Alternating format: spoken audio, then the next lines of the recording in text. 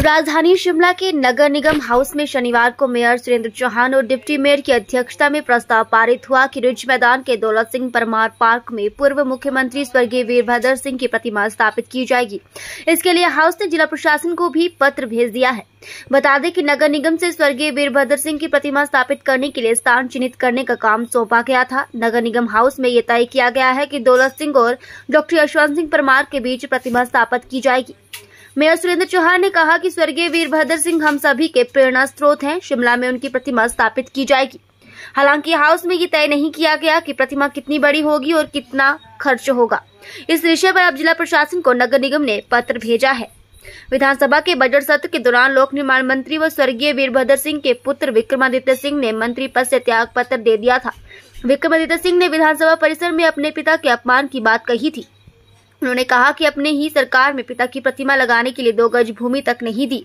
हालाँकि party high command ने उनका त्याग पत्र स्वीकार नहीं किया था।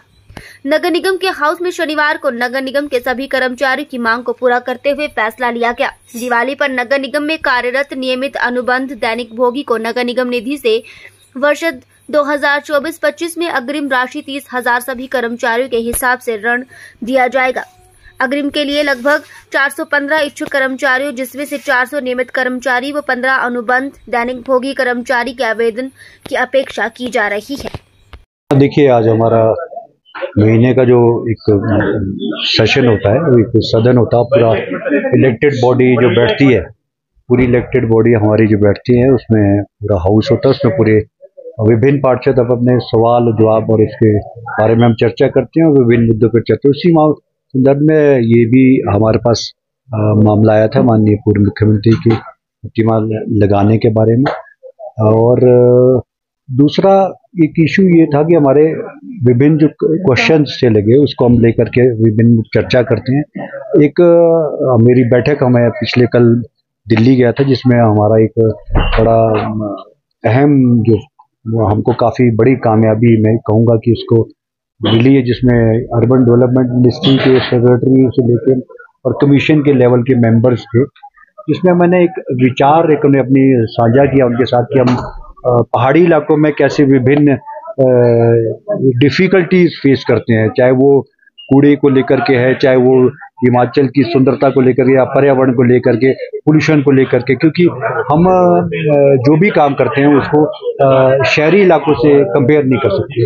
तो इस तरह का ये सारा, ये सारे इश्यूज़ हमारे पास आए थे और एक ट्रेनिंग इंस्टीट्यूट खोलने का हमारी एक बात हुई है, जो हमने हाउस से पिछली बार पास किया था, चाहे वो हमारे और एक, जैसे हिपा में हमारे पास ट्रेनिंग इंस्टीट्यूट है। उसी तरह का एक एक मामला वहाँ पे चार इंस्टीट्यूशन देश में खोलने की बात की थी। तो उसमें मैंने अपना विचार रखा कि हमारे पास जगह भी है। नगर निगम अपनी जगह उसको उपलब्ध कराएगा, लेकिन हमारे यहाँ पे भी एक बड़ा इंस्टीट्यूशन खोलना चाहिए।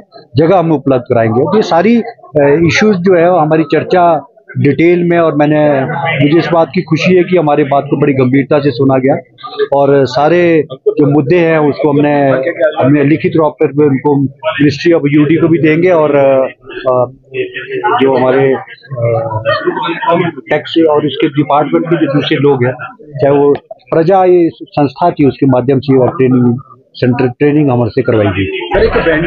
बिल्कुल मैंने ये बात इसलिए की उसमें इशू ये है कि हमारे यहाँ पे जो कॉस्ट ऑफ़ कंस्ट्रक्शन होती है, हमारे जो स्मार्ट सिटी के मेरे जो प्रोजेक्ट चल रहे हैं, हमारे, क्योंकि वो काफ़ी प्रोजेक्ट ऐसे मैं समझता हूँ कि वो अधूरे ना रह गए क्योंकि इतना पैसा खर्च करने के बाद, क्योंकि हमारे शहरों की और पहाड़ों की जो कॉस्ट ऑफ़ कंस्ट्रक्शन है वो बहुत डिफरेंट होती है। अगर शहर में आपने कोई काम करना है बिल्डिंग बनानी है तो वो लिमिटेड उसका बजट होता है, उसमें बन जाती है। हमारे यहाँ तो टेन टाइम कॉस्ट पड़ती है उसकी, क्योंकि यहाँ कॉस्ट ऑफ़ कंस्ट्रक्शन बहुत हैवी है।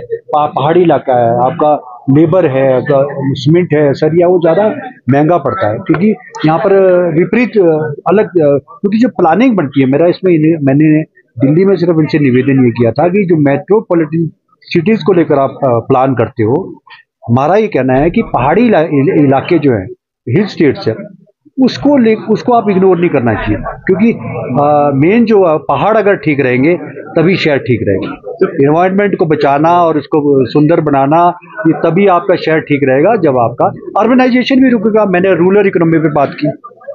आपका हमारा जो अर्बनाइजेशन हो रहा है वो तो क्यों हो रहा है? उसके पीछे क्या रीजन है? क्योंकि एक शहर अलग बस रहा है, दूसरा अर्बनाइजेशन का, जो स्लम एरिया है वहाँ पे क्यों बस रहे हैं? उसके पीछे ये रीजन है, अगर आप रूरल इकोनॉमी को स्ट्रॉन्ग करोगे, अगर 10 से 15 से 20 हज़ार की रोज़गार युवा साथी को वहाँ मिल जाएगा, गाँव में ही तो शहर में क्यों आएगा? तो एक बड़ा इंपॉर्टेंट सा इशू था, उसको मैंने काफ़ी डिटेल में वहाँ से चर्चा की तो सभी लोगों ने मेरे, और उसमें मुझे आपको बताने में प्रसन्नता हो रही है कि मुझे पूरी नॉर्थ ईस्ट स्टेट्स का, उत्तराखंड का सिक्किम का दूसरी स्टेट्स का गैंगटॉक का इनका सबका मुझे सपोर्ट मिला जिन्होंने कहा कि ये अच्छा प्रयास है। तो एक एक ऐसा इशू आया था जो पॉइंट ऑफ़ ऑर्डर लिया था माननीय माननीय पार्षद ने। उसमें उसमें उसमें ये कहा गया कि आपके जो हमारी पार्किंग्स है वो खाली रहती है। गाड़ी जो है सड़क पर ले जाती है। वो बात सही है। उसमें हमने बड़ा उसको गंभीरता से लिया क्योंकि रोड ऑफ़ वाइडनिंग पहले हुई थी उस में अब रोड वाइडनिंग हुआ था। उसके बाद बीच में बंद हो गए थे, क्योंकि शिमला एक अलग अलग क्षेत्रों में बंटा हुआ है। कई रोड पीडब्ल्यूडी की मेंटेन करता है, कई एमसी करता है, कोई करता है। मेरा इसमें ये कहना था, हमारे माननीय हाउस का सबका, उनमें ये कहा कि जहाँ पर भी हमारी गाड़ियाँ खड़ी होती है, जो एमसी की रोड है हम उसको येलो लाइन में जाएँगे और इसमें पूरी चर्चा होगी, जो भी रेट क्या होगा रेट क्या तय करना, उसको मैं चाहता हूँ कि इसको पूरा प्रॉपरली हाउस में आएगा, तब उस पर फैसला